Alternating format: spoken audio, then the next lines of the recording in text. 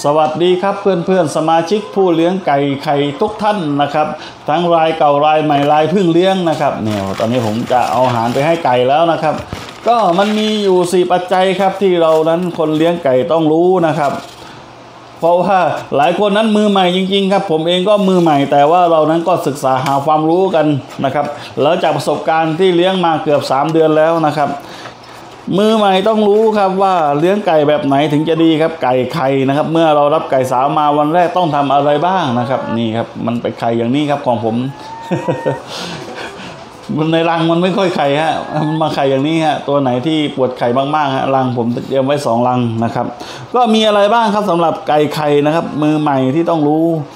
หนึ่งครับก็คือไก่มาถึงเนี่ยนะครับเรารับไก่สาวมาครับลงจากรถมาตากตากตากตากตากนะครับลงจากรถมาปุ๊บนะฮะเราก็เอาข้าวเล้าไก่นะฮะข้าวเล้าไก่แล้วบางคนเนี่ยให้ไก่ทานอาหารเลยนะครับ ซึ่งเป็นวิธีที่ผิดนะครับเพราะไก่มันร้อนนะมันเดินทางมาไกลบางคนข้ามภาคมานะครับเหมือนผมก็มาจากชลบุรีนะครับ ซื้อมาจากทางโน้นนะครับสั่งมาเดินทางกว่าจะถึงนี่เป็นอาทิตย์นะครับเขาไม่ได้ส่งที่เราที่เดียวนะฮะ เขามาเรื่อยครับ หลายที่กว่าที่จะถึงเราเนี่ยไก่อดน้ำอดอาหารมานะครับ ก็นานโขอยู่นะเราก็ต้องดูแลไก่ด้วยนะครับแรกๆเนี่ยอย่าเพิ่งให้อาหารเพราะไก่กำลังเครียดอยู่ครับ หลังจากนั้นเราก็ให้น้ำเลยครับ เตรียมน้ำให้ไก่ได้เลยครับ น้ำไก่กินได้ครับ มาถึงมันกระหายน้ำเนี่ยพอมันร้อนนะครับ น้ำกินได้เลยครับ แล้วพอผ่านไปประมาณ 3 ชั่วโมงนะครับ หลังจาก 3 ชั่วโมงแล้วเนี่ยเราถึงค่อยให้อาหารไก่นะครับ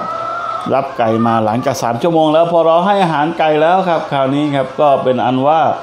ไก่จะได้กินอาหารนะครับ แต่เราไม่ต้องให้ปริมาณที่เยอะในคราวเดียวนะครับ เราค่อยๆให้ก่อนนะครับ วันแรกเนี่ยเราไม่ต้องให้เขาอิ่มท้องก่อน เราให้ปริมาณที่พอเหมาะนะครับ พอให้เขาอิ่มท้องไม่ต้องให้เยอะนะครับ เพราะเดี๋ยวจะมีปัญหากับหลอดลมไก่ได้นะครับ เพราะไก่กำลังเครียดอยู่นะเพราะว่านี่ครับ หลังจากนั้นนะครับข้อที่สองก็คือนะครับ ยาครับคราวนี้ ยาปฏิชีวนะนะครับ เรื่องของการถ่ายพยาธิก็ดีเรื่องของการป้องกันโรคก็ดีครับ เราก็ให้เขาครับเหมือนผมนะฮะไบโอ12นะครับให้ไก่ไปนะครับ ให้ไก่กินไบโอ12นี่ฮะช่วยได้ถ่ายพยาธิหรือว่า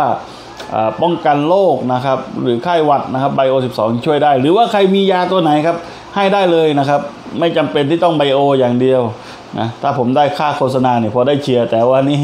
เรานะครับมาพูดคุยกันเพื่อให้เรารู้ว่าไก่ใหม่นั้นเราต้องทำอย่างไรนะครับ ก็ให้ยาไปชีวชีวนะนะครับ ผ่านไปประมาณ 5 วันนะครับ กินติดต่อกันน้ำนี่ต้องควรเปลี่ยนบ่อยนะครับ ถ้าน้ำเดิมๆไม่ดีครับ ไก่จะมีปัญหาได้ ส่วนใครที่ให้อาหารแบบผมนะครับ ก็ไม่ควรใส่ผสมน้ำให้มันเหลวเกินไปนะครับ ไม่ไม่ควรใส่น้ำเยอะนะครับ ก็ให้น้ำที่พอดีให้มันเข้ากับอาหารนะครับ ที่ผมให้เนี่ยผมมีรำนะครับ แล้วก็มีหัวอาหาร แล้วก็มีปลายข้าวนะครับ ก็ผสมประสานกันนะครับ แรกๆนะครับ ข้อที่ 3 ก็คือให้เขากินอาหารแบบเต็มที่ไปเลยครับในเดือนแรกนะครับ ให้เขาเลี้ยงแบบบุฟเฟ่เลยนะครับ ไม่ต้องไปกังวลว่าอาหารจะเปลือง หรือคำนวณค่านู่นค่านี่ยึดคิดเลยครับว่าเราจะกำไรหรือขาดทุนนะครับ ในเดือนแรกห้ามคิดครับ ในเรื่องไก่นะครับ ถ้าคุณไปคิดเรื่องนี้ในเดือนแรกครับ คุณก็ท้อแล้วครับว่าฉันซื้อไก่มาเนี่ยโอ้ไม่ได้อะไรเลยครับ มีแต่ขาดทุนกว่ามันจะไข่เนี่ยมันก็ยากแสนยากนะครับ ก็เลี้ยงแบบบุฟเฟ่ไปเลยครับ อาหารนะครับ เราดูว่าวันนี้เราใส่ไปนะครับ ประมาณเนี้ยมันหมดไหมนะครับ ถ้าหมดนะครับเราก็เพิ่มให้เขาอีกนะครับ แต่ถ้าหากว่าเขากินเหลือครับ เราก็ลดปริมาณนะครับ อย่าไปให้เท่าเดิมอยู่ตลอดนะครับไม่ได้นะครับ ถ้าเขากินเหลือเราต้องลดปริมาณเพราะอะไรครับ เพราะไก่มันจะเบื่ออาหารได้ในอนาคตนะครับ จะทำให้ไม่ไข่นะครับนี่ฮะผมชี้ให้ดูว่าไก่ผมนอนอยู่ตรงนี้นะครับ ต้องทำที่นอนให้ไก่ด้วยนะครับ การเตรียมเล้าไก่ก็เหมือนกันนะครับ แต่จะคุยในเรื่องราวต่อไปนะครับ การเตรียมเล้าไก่นะแต่ว่าวันนี้ครับเราก็มาคุยกันเรื่องอาหารการจำกัดอาหารนะครับ แล้วก็เรื่องต่อไปนะครับที่ผมจะคุยต่อนะครับพอไก่เรานะครับไข่แล้วนะครับ ประมาณ 60%แล้วเนี่ยที่ไก่ไข่นะครับ หลังจากเดือนผ่านไปนะครับ เราถึงจะกำ จัดอาหารได้ก็คือจำกัดนะครับ ไม่ใช่จำกัดนะครับจำกัดนะครับ อาหารได้ก็คือให้ 10 ตัวนะครับ กินอยู่ที่ประมาณกิโลหนึ่งขีดถึง 2 ขีดนะครับ ของผมเนี่ยรำนะครับ ผมราคาถูก ผมไปซื้อโรงสีมากิโล 5 บาทนะครับปลายข้าวกิโล 10 บาท ผมก็ผสมได้ครับ มันก็เลยได้กินเยอะกว่าปกตินิดนึงนะครับ เพราะว่าเราต้นทุนต่ำนะครับ หัวอาหารนี่ขาดไม่ได้ครับนะหัวอาหารนี่ครึ่งต่อครึ่งนะครับ หรือไม่ก็ มากกว่าหน่อยนึงนะครับ เพราะหัวอาหารเป็นปัจจัยสำคัญสำหรับไก่ไข่นะครับ ถ้าหัวอาหารไม่ถึงนี่ไก่เราเนี่ยหนึ่งครับไข่ใบเล็กครับสองไม่ไข่ครับนะแล้วการที่จะให้ไก่ไข่ในครั้งแรก ๆนะครับ เราต้องมีไข่ปลอมไปหลอกล่อนะครับ ผมเนี่ยเอาไข่ผมเนี่ยไข่ที่บ้านนะครับ ที่ซื้อมาในตลาดเนี่ยไปใส่ไว้นะครับ ตอนแรกนี่เอ๊ะไข่ไม่ไก่ไม่ไข่สักทีทำยังไงดีครับ คิดหาวิธีโน่นวิธีนี้ครับ เอาไข่ที่บ้านเนี่ยครับที่เราซื้อตลาดมาครับไปใส่ไว้ในรังครับ ผ่านไปสองวันไก่ไข่ครับกันนี้ดีใจใหญ่เลยครับแหมเป็นอะไรที่น่าขำเหมือนกันนะครับ พอคิดย้อนไปแล้วนะครับ ก็ปัจจัยที่สี่ครับ หลังจากผ่านไปหนึ่งเดือนแล้วนะครับ ให้เริ่ม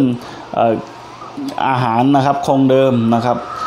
คราวนี้ครับเราก็ได้เลี้ยงไก่ไข่อย่างมีความสุขได้นะครับ ในเมื่อเรารู้วิธีการเลี้ยงไก่นะครับ แล้วก็พื้นนะครับ เราไม่ควรที่จะให้แฉะหรือเปียกนะครับ เพราะว่ามันจะเป็นพาหะการนำโรคนำเชื้อรามาได้นะครับ ไก่เราจะตายได้ แล้วก็ดูครับว่าข้อไก่เรานั้นครับ ควรที่จะโปร่งนะครับ ไม่ควรที่จะทึบ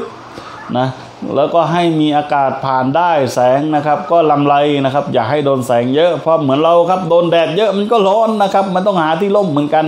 นะครับ ใครเลี้ยงข้อไก่อยู่ใต้ต้นไม้ได้นี่สุดยอดครับทำข้อไก่เล้าไก่นะครับ อยู่ในสวนอยู่ใต้ต้นไม้อย่างนี้ครับเหมือนเราครับชอบร่มๆนะเพราะอากาศมันร้อนนะฮะไก่เนี่ยฮะก็กินอาหารแบบนี้ครับดีไหมครับนี่ไก่กินอาหารนะครับ แล้วเราก็มีความสุขไปด้วยนะครับ ผมเนี่ยบางทีก็มายืนอยู่ในนี้ก็นานเหมือนกันนะครับ นี่ว่าจะทำคอกใหม่เล้าใหม่นะครับ เพื่อที่จะให้เห็นว่าทำอีกแบบหนึงเนี่ยจำกัดพื้นที่นะครับ เราเลี้ยงอ่าคอไก่แล้วถูกไหมครับ เราก็ทำอนาบริเวณให้ไก่อยู่อีกนะครับ ตรงนี้เนี่ยผมว่าไก่เราเนี่ยมันจะอารมณ์ดีมากกว่านี้นะครับ เพราะว่าได้เดินได้เหินสะดวกนะครับ แต่ละว่าเราไม่ให้เขานั้นเป็นพื้นที่เยอะเกินไปนะครับ ถ้าพื้นที่ที่ว่าเราปล่อยเยอะเกินไปเนี่ยทำให้เขาเปลืองพลังงานนะครับ แล้วก็อาหารเราก็เปลืองเพิ่มขึ้นนะครับ แต่เราก็พยายามที่จะปรับให้ไก่นั้นมีอารมณ์ดีมากขึ้น นี่ก็คือสูตรของไก่อารมณ์ดี นะครับ ก็เหมือนที่บอกครับอะไรบ้างครับเมื่อกี้ที่คุยไปนะครับสี่ปัจจัยก็คือ ไก่สาวแรกรับนะครับ เราก็ไม่ควรให้อาหารนะครับใน 3 ชั่วโมงแรกนะครับ ให้แต่น้ำนะแล้วก็หลังจากนั้นครับวันถัดมาเราก็ให้ไบโอนะครับถ่ายพยาธิหรือว่ายาคลายเครียดนะครับ ให้กับไก่เพื่อที่จะให้เขานั้นได้ผ่อนคลายนะครับ ไม่ให้มีโรคมีอะไรติดมากับไก่นะครับไบโอนะครับช่วยได้เรื่องหวัดเรื่องอะไรเนี่ยป้องกันด้วยไบโอนะฮะก็ให้เขากินประมาณ 5 วันนะครับหลังจากนั้นก็คือข้อที่ 3 ก็ให้ไก่กินเต็มที่ไปเลยครับ เลี้ยงแบบบุฟเฟ่ประมาณ 1 เดือนนะครับ จนกว่าไก่นั้นจะไข่ถึง 50-60%ถ้าซื้อมาอย่างผมเนี่ย10ตัวนะครับ ให้เขาไข่ประมาณ 6 ฟองขึ้นไปนะครับ แล้วค่อยจำกัดนะครับ อาหาร นะแล้วถัดมาครับข้อทีสี่4 ก็คืออหลังจากผ่านไปแล้วเนี่ยจำกัดอาหารนะครับ แล้วก็มีอะไรอีกนะ อีกอย่างหนึ่งก็คือ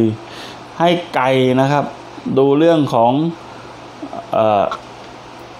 ข้อไก่แล้วก็ความโปร่งแสงของข้อไก่นะครับ ตรงนี้ถ้าเราทำตรงนี้ได้เนี่ย จะได้ดีนะครับ ไก่นั้นจะได้ไม่เครียดจะเป็นไก่อารมณ์ดีนะครับ ให้น้ำให้อะไรนะครับ การให้น้ำนะครับกับอาหารเนี่ยเราก็ให้เวลาไหนเวลานั้นครับ ให้เวลาไหนเวลานั้นเลยนะครับ บางทีเนี่ยเราเข้าไปนะครับ ไก่มันตื่นมันตกใจได้นะครับ หมายความว่าไงครับ หมายความว่าเวลามันไข่อยู่เนี่ย แต่เราเนี่ยเข้าไปในข้อไก่มันก็ไม่ไข่แล้วครับเพราะอะไรครับมันตกใจเราครับมันก็ลงมาบางทีมันก็ดีใจเห็นเรานะครับ มันลงมากินอาหารทันทีเลยนะ ก็หลายคนนะครับก็ได้สิ่งดีๆ จากคลิปนี้ไปนะครับ แล้วก็กดติดตามไว้นะครับสำหรับคนที่ยังไม่ติดตามนะครับ ผมจะลงคลิปแล้วก็บอกวิธีการดูแลไก่ แล้วก็ข้อไก่บริเวณไก่นี่จะทำอย่างไรนะครับ เพื่อให้ไก่เรานั้นมีสุขภาพดีและไข่ดีขึ้นนะครับสำหรับวันนี้สวัสดีครับ